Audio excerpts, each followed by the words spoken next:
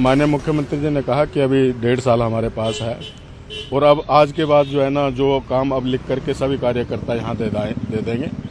तो उन पर जो है ना, हम एक साल के अंदर पूरा काम कंप्लीट करके आगे कोई भी नई घोषणा नहीं करेंगे, क्योंकि ये बाद में फिर घोषणाएँ पेंडिंग रह जाती है, उन पर काम नहीं होता और यही इलेक्शन में चुनाव में जो है ना, मुद्दा बनता है। भारतीय जनता पार्टी का कार्यकर्ता हर वक्त चुनावी मूड में रहता है।